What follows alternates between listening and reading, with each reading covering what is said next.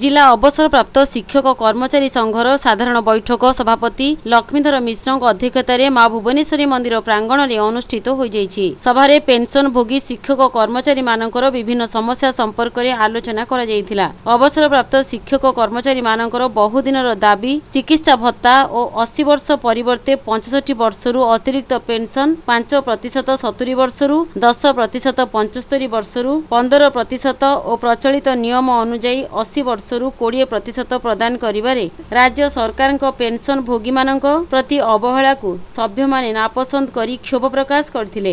ଦେଶର ସତେଇଶଟି ରାଜ୍ୟ ସରକାରମାନେ ପେନସନ ଭୋଗୀମାନଙ୍କୁ ଉପରୋକ୍ତ ସହାୟତା ପ୍ରଦାନ କରୁଥିବା ବେଳେ ରାଜ୍ୟ ସରକାର ଚିକିତ୍ସା ଭତ୍ତା ଓ ଅତିରିକ୍ତ ପେନସନ ସୁବିଧା ଏପର୍ଯ୍ୟନ୍ତ ନ ଦେବା ଦୁର୍ଭାଗ୍ୟଜନକ ବୋଲି ସାଧାରଣ ସମ୍ପାଦକ ବିଶ୍ୱନାଥ ବେହେରା କହିଛନ୍ତି। ଅବସରପ୍ରାପ୍ତ ଶିକ୍ଷକ କର୍ମଚାରୀମାନଙ୍କର ଉକ୍ତ ଦାବିକୁ ବିଚାର କରି ତୁରନ୍ତ ପ୍ରଦାନ କରିବାକୁ ସରକାରଙ୍କ ନିକଟରେ ସେମାନେ ଦାବି କରିଛନ୍ତି ଏଥିସହ ରାଜ୍ୟ ସରକାର ବିଭିନ୍ନ ବିଭାଗରେ ଖାଲି ପଡ଼ିଥିବା ପଦବୀ ଓ ଶିକ୍ଷକ ନିଯୁକ୍ତି କ୍ଷେତ୍ରରେ ହେଉଥିବା ଦୁର୍ନୀତି ଦୁର୍ଭାଗ୍ୟଜନକ।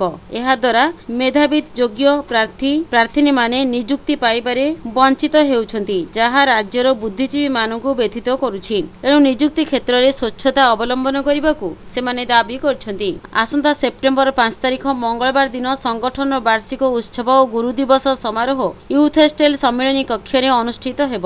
ଉତ୍ସବରେ ଜିଲ୍ଲାର କୃତି ଶିକ୍ଷକମାନଙ୍କୁ ସମ୍ବର୍ଦ୍ଧିତ କରାଯିବ।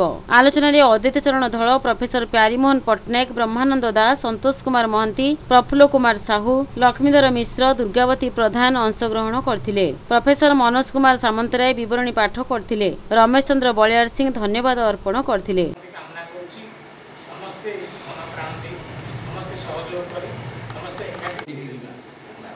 ଆମେ ତ ଭଲ ରହିଲେ ସଂସାର ଭଲ ରହିବ ନାହିଁ ଆମ ଭିତରେ ଯେଉଁମାନେ ଅଛନ୍ତି ଯେଉଁମାନେ ବିଚାର କରୁଛନ୍ତି ସେମାନେ ସବୁ ଆମ ପରିବାର।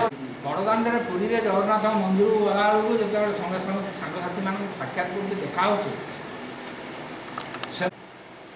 ଯଦି ସେମାନେ ଭଲରେ ନାହାନ୍ତି ଦୁଃଖରେ ଅଛନ୍ତି ତାହେଲେ it is not at meaningful ସେ ଘଟଣା ଘଟୁଛି। ଏବେ ମୁଁ ଏ କଥା କହିବାର ତାତ୍ପର୍ଯ୍ୟ ହେଉଛି ଆମର ସଂଗଠନର ସାଥୀ ସଦାଶିବ ବାବୁ।